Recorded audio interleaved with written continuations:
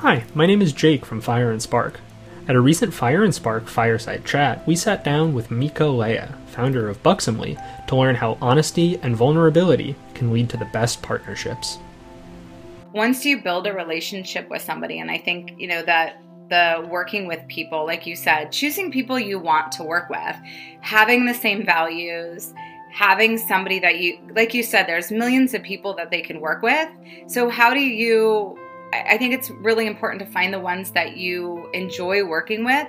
And to me, it's also, and this is for other companies out there, is to find the ones that like actually want to learn more about you too, right? They want they yeah. want to work with you. They want and they hear you and they listen to you